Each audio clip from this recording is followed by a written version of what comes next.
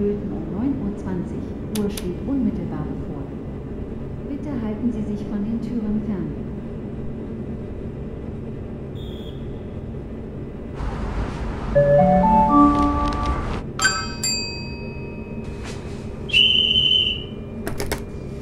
Zu Ihrer Sicherheit bitten wir Sie, Ihr Gepäck nicht unbeaufsichtigt zu lassen und uns jedes Paket oder jeden Gegenstand zu melden, den Sie für verdächtig halten.